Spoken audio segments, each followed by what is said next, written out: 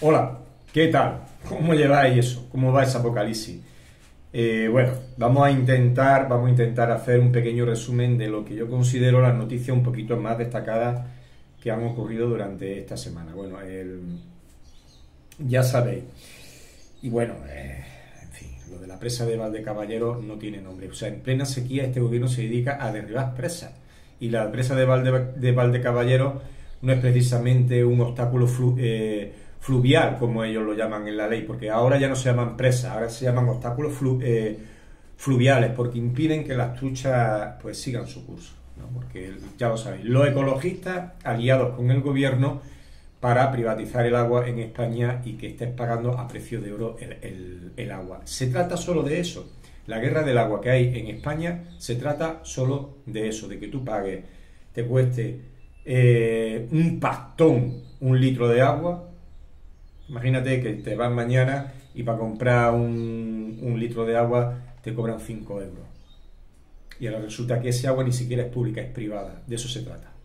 De eso se trata, porque sabéis que el agua en España es privada y concretamente está en manos francesas. Si no lo sabéis, ya os lo digo yo. En el canal de entrevistas de Pedro Rosillo tuve una entrevista con el escritor Alberto Vázquez eh, Figueroa que tenía un invento, un invento para eh, convertir España prácticamente en un vergel, desalando agua del mar y prácticamente a un precio ridículo. Bueno, lo que costaban las instalaciones, pero quiere decir que un precio ridículo a, cómo se está, mm, en fin, a la infraestructura que había que poner, ¿no? Bueno, pues fueron a amenazarle a su propia casa eh, directivos de la empresa francesa. Así tal cual. Sea, no los propios directivos, sino abogados mandados por, esta empresa, por la empresa mismo Suez, es una de ellas, se llaman así, Suez es una de ellas, mandó a, su abogado a amenazarle a su propia casa, Alberto Vázquez Figueroa. Tal cual, tal cual. Algo tremendo lo del agua. O sea que aquí eh, ahora mismo hay una conspiración, se puede decir que existe en España una auténtica conspiración desde luego entre gobierno y ecologistas, pues para beneficiar los grandes ingresos de las empresas privadas, que serán al final los que gestionen el agua. Ya sabéis que el agua cotiza en bolsa y eso va a ser nuestra perdición. Es decir, el agua, de ser un bien público, ya ahora lo gestionan todas empresas privadas y eh, eso son, es beneficio puro. Cuanto menos agua haya, cuanto menos agua haya, más será su beneficio y se trata de eso, precisamente. Lo de la presa de Valdecaballeros, pues algo eh, todavía más, más doloroso, porque esa era una presa que estaba destinada a la refrigeración de una central nuclear, que hubiera sido para Extremadura pues un impulso para su economía, porque la energía nuclear es la energía más barata que existe y más limpia. ¿eh? Está el tema de los residuos, pero los residuos se pueden gestionar eh, perfectamente y no se puso nunca en marcha la central. Eh, no, el gobierno no ha querido buscarle otra utilidad y ahora ya no se llama una presa, sino que se llama un obstáculo fluvial que impiden que las truchas fluyan. O sea, algo tremendo. Y en plena sequía, dice que aquello, mm, pues como no tiene utilidad ninguna, que fue para lo que se hizo, que fue para la central nuclear, y como la central nunca se abrió gracias a Felipe González, por la moratoria eh, nuclear, eh, pues eh, ahora quieren derribarla. Pues una presa, pero vamos, pero una presa que como un demonio de grande, ¿eh? o sea, extraordinaria, en plena sequía. Bueno, parece ser que la última noticia ha habido tanta presión, tanta presión y ha suscitado tanto escándalo que por ahora parece que el gobierno se abre a respetarla. Parece, no lo sabemos. Pero eso no significa que aunque el gobierno se abra a respetarla, ellos sigan con su política de, eh, derribar, o sea, de, cada vez ponernos más difícil el acceso al agua y de beneficiar a las empresas privadas, que de eso se trata al final. O sea, los grupos estos ecologistas están pagados mismos por las mismas esas grandes empresas privadas, pues que, eh, en fin, que tienen esos intereses, que tienen esos intereses. Eh, la guerra del agua en España. Hace poco vi un, un vídeo eh, que lo tengo colgado en, invierte.vi en donde un experto demostraba que eh, la eh, lluvia en España no habían variado a lo largo de los últimos 20 o, 40 años. Eran las mismas, el mismo número. Bien, es verdad, en una zona llovían más, otras, pero a nivel general eran las mismas, no había variado absolutamente nada. Otra cosa es cómo, cómo los recursos los gestionemos. Pues claro, si en vez de construir presas lo que te dedicas es a derribarla, pues evidentemente ese agua la pierdes o a canalizar el agua hacia otros lugares donde falta, o a implementar planes como el del escritor Alberto Pázquez Figueroa, por ejemplo. ¿eh? No, quiere saber absolutamente nada de eso. Aquí lo que hay son intereses, aquí, pero intereses privados. Aquí lo que menos importa es el interés público. Eso tenerlo claro. Tenerlo claro. Eso en cuanto a la presa de Valdecaballero, que manda narices, manda narices. Por otra parte, sabéis que, una, que la portavoz del gobierno ha sido sancionada por la Junta Electoral Central. Se trata de Isabel Rodríguez. ¿Y por qué? Eh, pues prácticamente por hacer electoralismo desde su puesto de, presidente de, responsabilidad pública. Quiere decir, si tú eres, si tú estás representando al Estado, no te puedes eh, estar constantemente en fin, haciendo electoralismo del, partido, pero ellos son así, ellos son así, ellos confunden el Estado con el gobierno, con el partido, ahí lo tienen todo mezclado, quiere decir, son intereses propios. O sea, es gravísimo realmente, es gravísimo que la Junta Electoral Central le tenga que decir al gobierno, oye, está incumpliendo la ley. Está incumpliendo la ley. Y fíjate, y, no estamos en el mejor de los países, ¿eh? y, no estamos en, el mejor de los países donde las instituciones sean tengan la mayor de las transparencias, ¿verdad? Donde aquí fue lo que funciona el enchufismo, el amiguismo, el aquí pongo a este para que no me moleste, ya sabéis, ¿eh? de quién depende la fiscalía y todas esas cosas, ¿no? Pongo a los míos para que no me molesten. En eso estamos, en este gobierno de Pedro Sánchez, que está dando, dando ese golpe de Estado a la bolivariana, quiere decir, no como Tejero que entró en el Congreso, pegando tiros ni nada de eso, sino poquito a poco, poquito a poco, eh, ocupando todas eh, todos los resortes del Estado, desde la Fiscalía, el, Tribunal Constitucional, eh, el Consejo General de Poder Judicial, todo, todo, el CIP, por supuesto, Televisión Española, todo, ¿no? lo va ocupando, lo va ocupando, lo va ocupando, y ya solo le falta pues hacer una reforma de la Constitución y, y proclamarse el jefe del Estado, ya sería lo que es lo que pretende. Vamos a ver, yo siempre lo he dicho. Los socialistas nunca, nunca han sido un partido democrático, jamás. Ellos, su objetivo es la República Socialista. Ese es su objetivo. La gente, eh, durante la época de Felipe González, pues creyó, creyó que bueno, el Partido Socialista estaba reformado y tal. Partido travestido para el momento, pero su objetivo siempre ha sido la República y la República Socialista, no cualquier tipo de república. No una república como la de los Estados Unidos, la de Francia o la de Italia, no, no, no, no, ya de eso. O la francesa, para nada. La República Socialista. Estilo Cuba o Venezuela. Estilo Cuba o Venezuela. Ese es su objetivo. Ese era el objetivo de la Segunda República Española y este es el objetivo del Partido Socialista actual. Exactamente el mismo.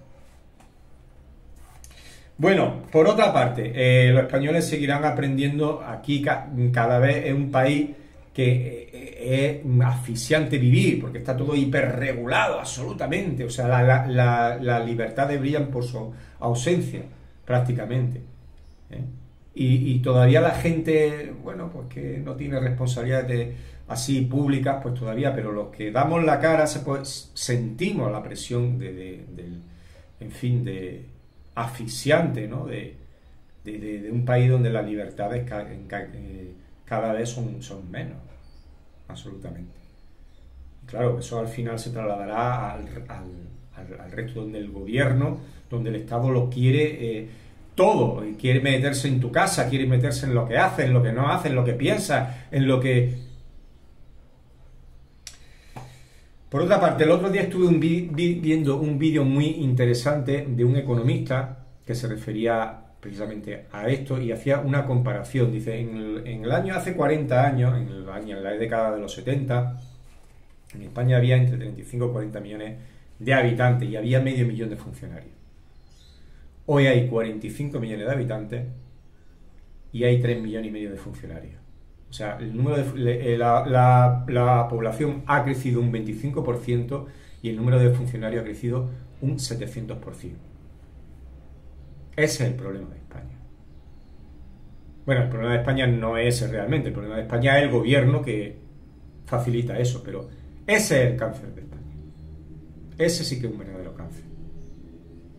O sea, no está justificado, no está justificado el saqueo, el saqueo del Estado a los españoles, porque aquí en España no se pagan impuestos, sino esto es un saqueo eh, no está justificado para una policía y una justicia que no te protegen. Que si te ocupan la casa, olvídate. No te protege. Búscate la vida con una empresa privada, un desocupa o cualquier otra, pero del Estado ese que te no espera absolutamente nada. Donde eh, la delincuencia está desatada, quiere decir que la policía está desbordada por completo. Entonces, ¿dónde se va el dinero? ¿Dónde coño se va el dinero? Si las calles cada vez son más inseguros, ¿para qué yo pago tanto impuesto?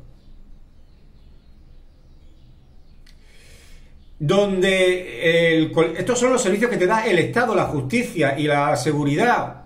O sea, por los suelos, nada, olvídate de ellos. Eh,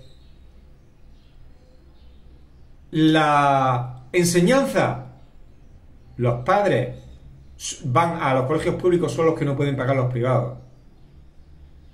Porque, eh, porque no quieren, primero, porque muchos huyen de los servicios sociales y por la ingeniería del, del gobierno, en donde los niños no aprenden nada, sino lo único que se dedican a hacer ingeniería social.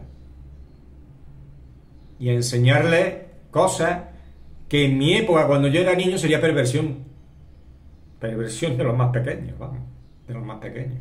Pero hoy al parece que está bien en lo moderno y lo, y lo progresista.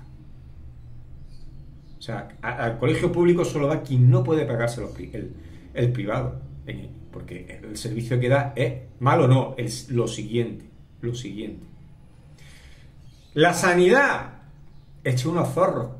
O sea, aquí, en Almería, en Almería, yo no sé en tu localidad, pero aquí en Almería, aquí va la sanidad pública que no puede pagarse el médico privado.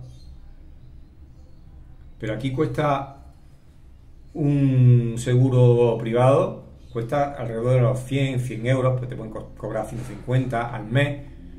Y te aseguro que la gente los paga y se olvida de la sanidad pública. Entonces, ¿qué, qué servicios te da el Estado? Ninguno, los pocos que te da, mal, mal. Entonces, ¿para qué sirve todo el saqueo, todo el saqueo de impuestos? esa persecución constante al ciudadano en sacárselo todo, en no dejarlo vivir, en sacarle la sangre, porque en España se paga más de, más de lo que del 50% de lo que gana lo paga en impuestos. ¿Dónde va? A chiringuitos políticos, nada más. A chiringuitos políticos. Entonces, en España es como ya como en Venezuela, o sea, aquí se quedará pues los funcionarios y quien no tenga el suficiente dinero para irse, porque los que tengan una pequeña fortuna, una pequeña o mediana, una mediana o gran fortuna, pues irán de este país. Como pasa en Venezuela, como pasa en todos los países, pues estos, comunistas, socialistas, marxistas, etcétera, etcétera, etcétera. El futuro pinta muy negro realmente para España si, no si los españoles no se espabilan. Y no podemos decir ya, no es que esto nos vamos a parecer a Venezuela, no somos Venezuela.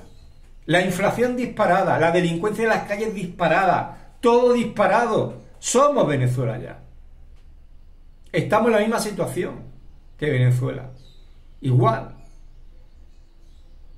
Igual. Nos han llevado al mismo punto. Y sobre todo, ¿en qué se gasta el Estado el dinero, todo lo que recauda? ¿En qué se lo gasta si los servicios que nos da son pésimos? Son intragables. ¿Quién se acerca, quién tiene cojones de acercarse a un hospital público si da miedo, da terror?